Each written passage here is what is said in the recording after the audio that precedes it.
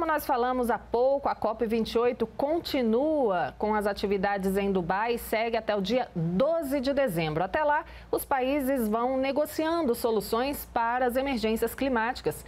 Entre eles, o Brasil, que está sendo representado pela maior delegação da história no evento.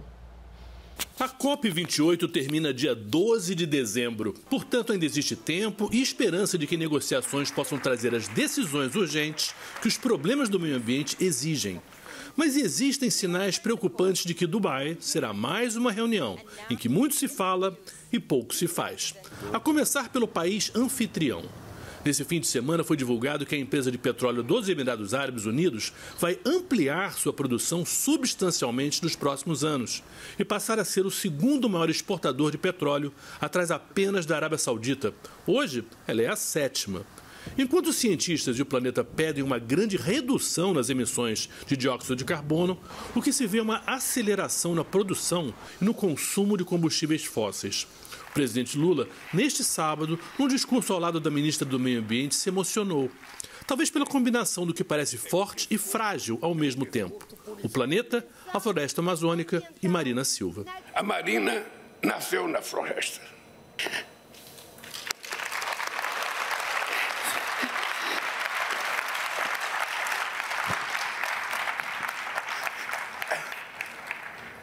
Eu acho que é justo para falar da floresta, ao invés de falar o presidente que é do Estado, que não é da floresta, a gente tenha que ouvir ela, que é a responsável pela, pelo sucesso da política de preservação ambiental que nós estamos fazendo no Brasil. A Marina. Fomos responsáveis por criar 80% das áreas protegidas de 2003 a 2008 que foram criadas no mundo. Compromisso com a floresta não é só de governo, é de empresa, é da sociedade e é da ciência. E nós trabalhamos com todos esses pilares porque proteger floresta não é só uma ação de governo, é uma ação de toda a humanidade. Proteger a floresta, dar mais voz aos países emergentes, os que mais sofrem com os efeitos do aquecimento global, e cobrar os países ricos por recursos são alguns dos principais objetivos do governo brasileiro. O Brasil, por exemplo, anunciou que vai reduzir a emissão de gases do efeito estufa em 48% até 2025, 53% até 2030 e neutralidade climática até 2050. A COP está divulgando como vitória a implementação de uma política de perdas e danos para os países mais pobres. Mas os números divulgados até agora mal arranham o tamanho do problema.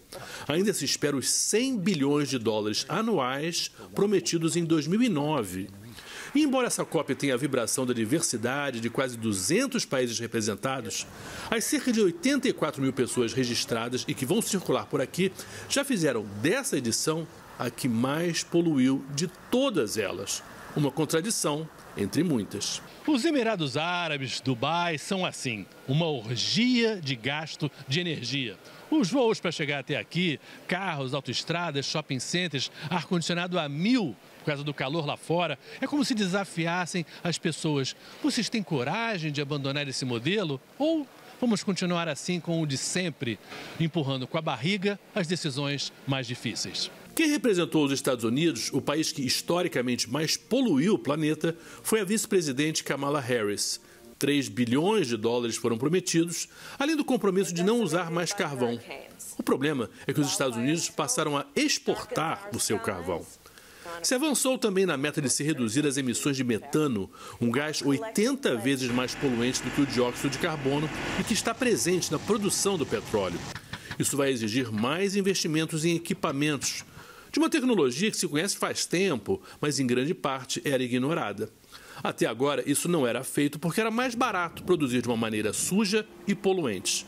Algo que exemplifica a atitude do ser humano na Terra nos últimos 200 anos. É uma questão de justiça climática que aqueles que mais contribuíram para o aquecimento global arquem com sua responsabilidade.